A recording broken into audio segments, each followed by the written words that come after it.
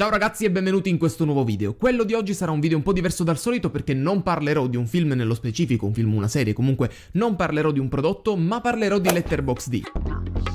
Ditemi per favore che lo conoscete già, ma in caso contrario vi introdurrò in questo mondo che adoro. Però oggi parleremo di un certo elemento di questo social, gli easter eggs. Intanto vi ricordo che in descrizione ci sono tutti i link dei miei social, partendo da Instagram, TikTok, X, l'ex Twitter, ma naturalmente anche Letterboxd. Anticipo che quello di oggi non è un video sponsorizzato, anzi è nato dalla mia ossessione verso questa piattaforma, però per chi ancora non la conoscesse, Letterboxd è un social creato per i cinefili da dei cinefili. In realtà esiste già dal 2011, diventato poi pubblico pubblico nel 2013 è diventato famoso qui in Italia solo qualche anno fa. A cosa serve Letterbox? Ha diverse funzionalità, partendo dal diario visioni. Si può quindi tener conto delle visioni giornaliere a cui si può aggiungere anche un voto in 5 stelle, con eventuale cuoricino, ma anche una mini recensione. Si possono creare delle liste, delle classifiche top e c'è anche la sezione watchlist. Essendo un social ci sono naturalmente i followers e i seguiti, e in questo modo quindi si può facilmente stalkerare le visioni di un determinato amico o follower. Chiusa parentesi alla scoperta di Letterbox, spero vivamente di avervi invogliato ad iscrivervi al, alla piattaforma, ma in caso contrario passiamo al punto cardine di questo video e credo che dopo Letterbox farà parte delle vostre applicazioni sul telefono. Iniziamo da quelli più semplici ma che comunque apprezzo tantissimo.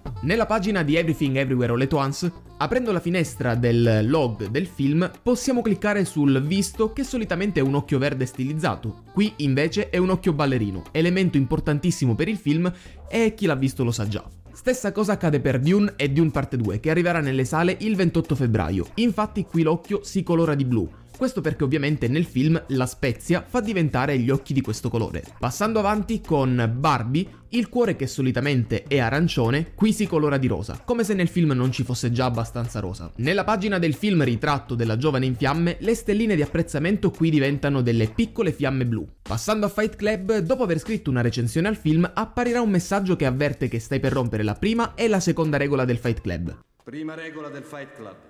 Non parlate mai del Fight Club. Seconda regola del Fight Club. Non dovete parlare mai del Fight Club. E chiederà se vuoi comunque pubblicare la recensione. Ma con la pubblicazione di recensioni non abbiamo finito perché infatti per Mission Impossible Dead Reckoning, dopo aver scritto qualcosa nella sezione review, comparirà un altro messaggio, un po' più elaborato visivamente.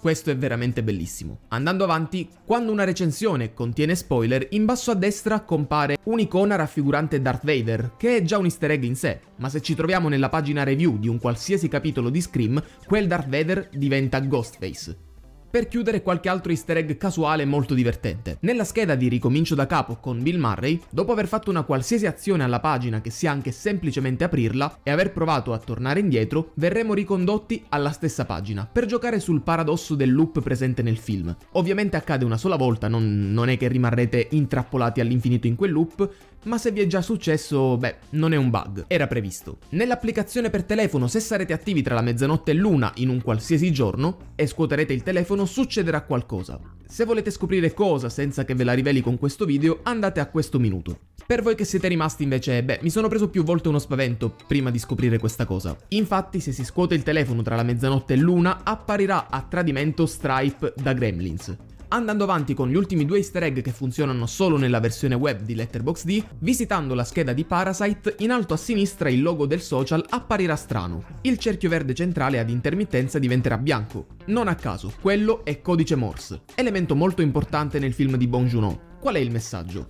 Beh, vincitore del miglior film. Ultimo easter egg per ora scovato nella pagina di Tenet. Scorrendo verso il basso possiamo vedere la stessa pagina del film palindroma, interamente specchiata. Anche questo è un easter egg molto divertente, soprattutto per chi se lo trova davanti per la primissima volta. Ma ragazzi, questi sono gli easter egg che sono attualmente presenti su Letterboxd, sia versione web che versione mobile, Probabilmente in futuro ne verranno aggiunti di altri, sicuramente con l'aggiunta delle serie TV che dovrebbe arrivare verso fine anno arriveranno altri easter egg. Spero vivamente di avervi invogliato a scaricare Letterbox se già non eravate eh, iscritti al social. Vi ricordo che il mio profilo è sempre presente, lo trovate nella descrizione assieme a tutti gli altri miei social e il link di Pumpling, codice il pensiero 4 per avere un paio di calze gratis a scelta. E niente, io sono Andri, questo è stato un altro mio pensiero per voi, noi ci vediamo in un prossimo video sempre su questo canale. Andri passa e chiude.